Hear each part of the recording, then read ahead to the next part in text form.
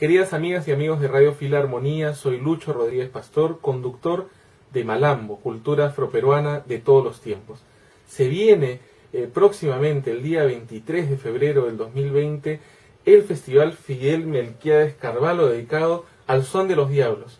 Y es en ese contexto en el cual el distrito de Magdalena se va a poblar de diablos y danzantes y cajitas y quijadas que vamos a conversar en torno a esta maravillosa danza, a este maravilloso género que es el son de los diablos. Y para ello vamos a conversar, vamos a compartir con una extraordinaria actriz, Ana Correa, del grupo cultural Yuyascani. Quiero decirles que no se pierdan esta oportunidad porque vamos a hablar de anécdotas, de momentos históricos, de cómo en 1987 se retoma la danza para las calles y que luego, siete años después, se instaura el Carnaval Negro, que ya entra a su 16 edición por las calles de Magdalena.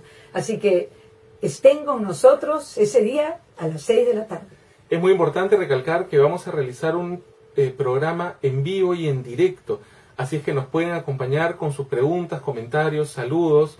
Es un programa muy especial. Y sortearemos una beca para, la, para aprender a bailar la danza. Exactamente, estén atentos a la convocatoria de este sorteo y al anuncio que vamos a realizar del ganador o ganadora el sábado 11 de enero con Ana Correa en este programa especial de Malambo Cultura Afroperuana de todos los tiempos en Radio Filarmonía 102.7 FM.